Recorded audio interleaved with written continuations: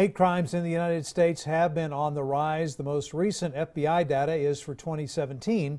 That year, there was a more than 17% increase compared to 2016. More than half of those attacks were committed for racial or ethnic reasons.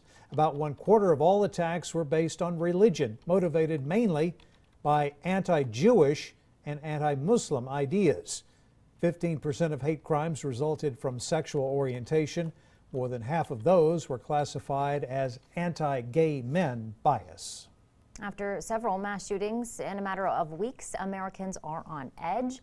As is often the case in the aftermath, security will be top of mind at soft targets like festivals. Austin's Pride Parade and Festival is this weekend in the city of Austin, taking this opportunity to roll out a program that is the first of its kind in Texas. KXAN's Alex Caprariello shows us how people targeted because of their sexuality will have a new resource on their side hate has no place in our community. Austin police and local businesses are partnering up you may see these new stickers placed on storefronts.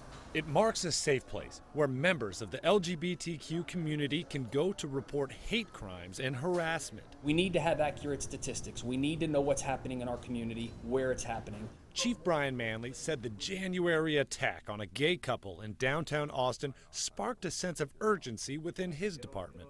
He wants to make sure all hate crimes are properly reported. Austin isn't immune to a lot of the bigotry and hatred that people see. This announcement comes just days after two mass shootings in the country and just days before Pride weekend right here in Austin.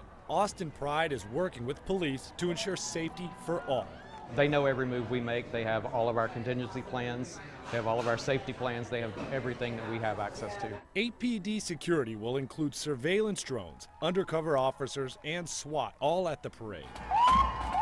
There will be things behind the scene that will not be seen, but that will be there to ensure that we can pull this off in the safest manner possible as we do year after year. Alex Caprariello, KXAN News. If you are a business owner who wants to become a safe place, you can fill out an application with the Austin Police Department. An officer will stop by and provide the necessary materials.